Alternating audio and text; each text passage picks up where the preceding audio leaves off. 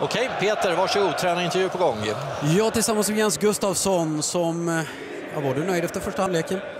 Ja, alltså, eh, vi visste ju att vi skulle få försvara oss och eh, det fick vi göra också. Eh, det är klart att vi vill ha ett lite varie- mer varierat anfallsspel vilket gör att vi, vi måste vara bli lite bättre efter att vi vinner boll. Då nöjer vi oss så Jens. Jag ser att spelarna står redo så drar vi, tar vi andra halvleken. Eh, varsågod Anders och Jon.